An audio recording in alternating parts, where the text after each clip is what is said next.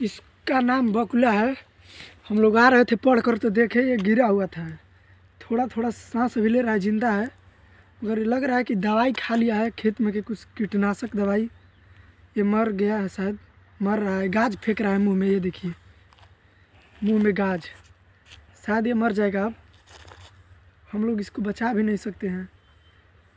लोग इसको दवाई शायद देकर मार दिए हैं। चाहे खेत में दावा भी छिटा हुआ है खाकर मर गया होगा। क्या करें इसको?